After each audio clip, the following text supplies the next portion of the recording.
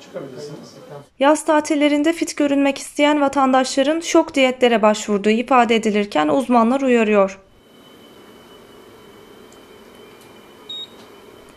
Diyetisyen Doktor Volkan Çiçekli de şok diyetler olarak adlandırılan çok düşük kalorili beslenme modelleri kesinlikle önermiyoruz dedi. Ee, Dediğiniz gibi yaz aylarına girdiğimiz zaman insanlar özellikle biraz daha forma girme adına kilo verme, hızlı kilo verme noktasında bazı bizim de onaylamadığımız durumlar içerisine girebiliyorlar, uygulamalar içerisine girebiliyorlar. Bazıları tabii ki e, bir uzmana danışabiliyor ama uzmana danışmadan da uygulamalara girenler var. Şok diyetler olarak adlandırılan, çok düşük kalori olan beslenme modelleri.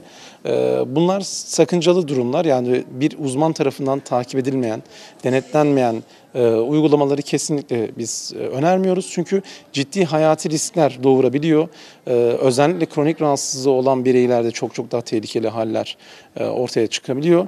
E, bu sebeple sağlığı, kilo vereceğiz diye sağlığımızı kaybetmemeliyiz. Buna dikkat etmek zorundayız. Bu bilincin oluşması gerekiyor. Sanki bir arkadaşımızın yaptığını biz de uygulayabilirmişiz algısına kapılabiliyor insanlar. Ama öyle değil. E, her bireyin e, biyokimyasal bulgu neticesinde e, kan değerleri, e, hormonları eşit düzeyde olmadığı için beslenmenin de her bir bireye özel değerlendirilerek oluşturulması lazım.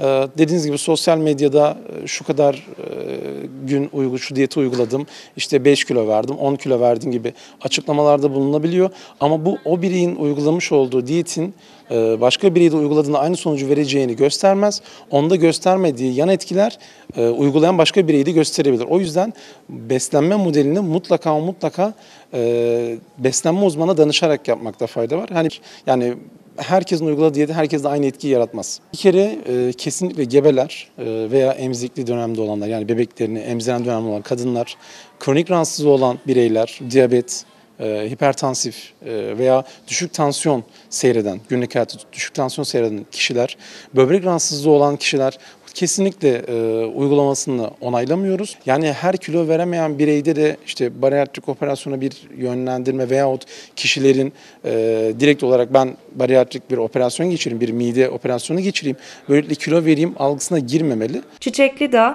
aşağı indim markete gittim değil de kendine 40-45 dakika mümkünse yeşillik bir yürüyüş parkurunun bulunduğu yerde hafif tempolu bir yürüyüş en azından yapılmalı diye konuştu. Mutlaka biz zaten e, günde 10 bin adım öneririz. 6 kilometrelik bir yürüyüşten bahsediyoruz ama bu yürüyüş de hani ben işte aşağı indim, işte markete gittim değil de kendine 40 dakika, 45 dakika mümkünse yeşillik yani bir ağaç veya bir yürüyüş parkurunun bulunduğu yerde 40-45 dakikalık hafif tempolu bir yürüyüş en azından. Kas kütleniz düşük kalmış.